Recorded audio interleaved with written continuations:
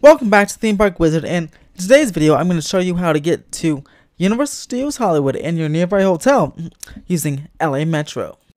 Whether you're visiting uh, from out of state or you're living in state, you can easily take the subway to Universal Studios Hollywood and save on that $30 parking for and only pay $1.75 for the Metro. It's super easy, super convenient, and it's actually the most transit accessible theme parks in Southern California. First, first I'm going to show you how to get there from three different ways, the valley, the city, and if you're coming in from the airport.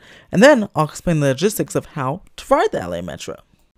Alright, so first, if you come from the San Fernando Valley, this is from Woodland Hills and eastward, you can easily park at one of the G Line, aka Orange Line stations here. And you can see right here on the map, um, goes from the Chatsworth Metrolink station all the way down to North Hollywood station and meets up with the subway.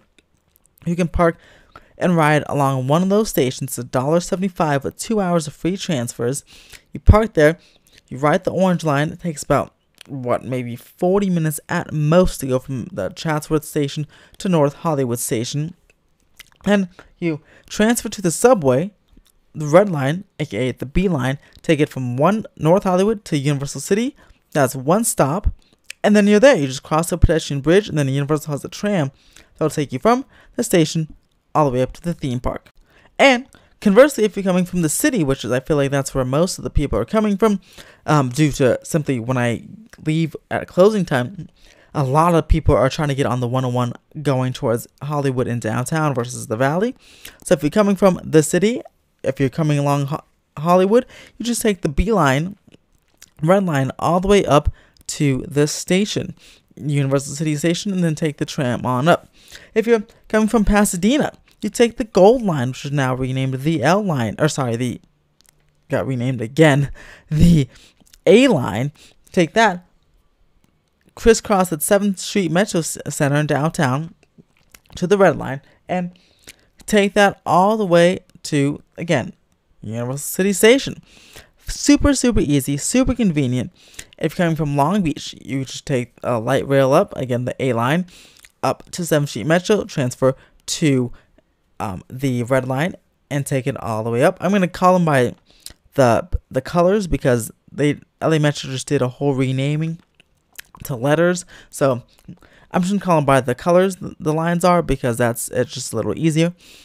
So if you're coming from Santa Monica, you take the E line, which is the gold line now, and to 17th Metro, transfer to the red line. And you do that also for East LA. So basically, no matter where you're coming from in the city, if you're near a red line, you take that to 7th Street Metro Center, which is right in downtown Los Angeles. You transfer right down to the red line, not the D line. There's the the B and D, red and purple lines. The purple line will go towards um, Museum Row on Wilshire Boulevard, and then the red line is the one you want to take. That goes right up to Universal Studios Hollywood. Now, if you're an out of towner and you're wondering where to go, you don't, your hotels may be in Hollywood, or you maybe got um, the Hilton, right? The Hilton or the Sheraton, which is which are right next to the park. You're wondering should you rent a car? What do you what do you do? Well, super easy peasy. And once again, from the airport, you take the K line shuttle. You want to take the shuttle to the aviation and uh, what you call aviation century station, where you can meet up with the K line, which is uh, I'm not sure. It's kind of like a purplish color. It's the newest rail line here, but the K line.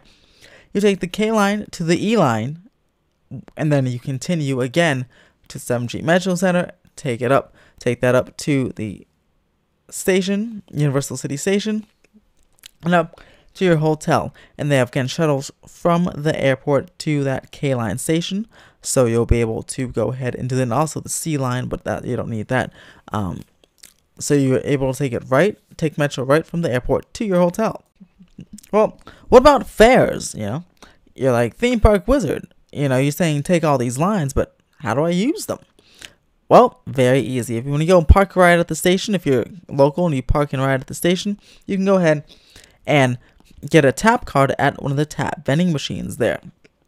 Tap cards are a dollar, and then rides are a dollar seventy-five per uh per ride for two hours of free transfers per person.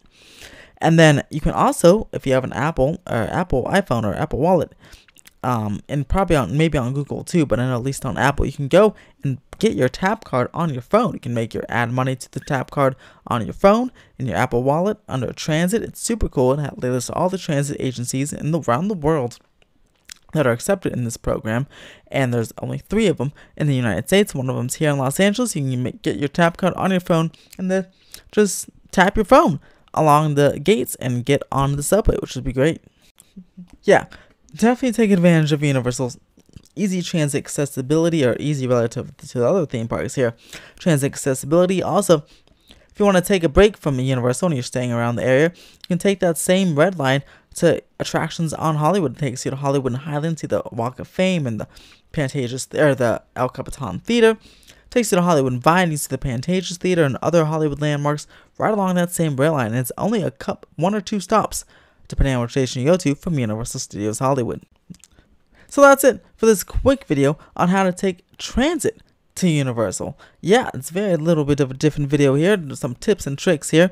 And yeah, definitely if you're, uh, whether coming from out of town or you're in town and just don't want to sit in traffic, you definitely want, might want to try it on one time. Transit to Universal Studios, and you know what? You may love it and you may recommend it to friends.